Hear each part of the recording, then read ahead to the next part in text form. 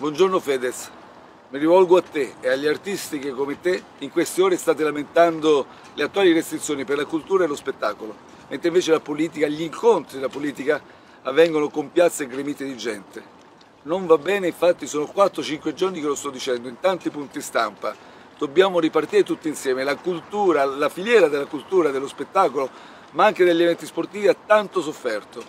Deve poter ripartire e non va bene portare la capienza all'80% dobbiamo portarla al 100%, dobbiamo ripartire forti, dobbiamo ripartire tutti insieme.